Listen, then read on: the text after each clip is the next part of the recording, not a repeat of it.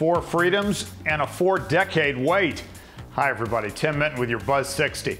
Franklin Roosevelt Four Freedoms Park has finally been dedicated 38 years after the death of the architect who designed it.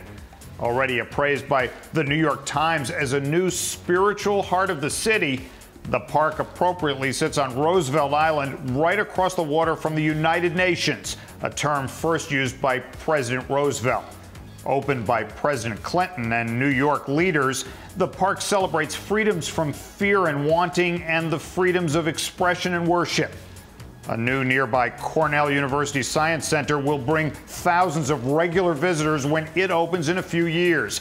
There'll be a short walk from a Roosevelt monument and polished walls that characterize the new park.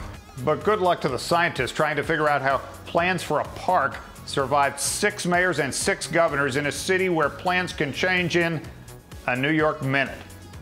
Buzz 60. Now you know. Pass it on.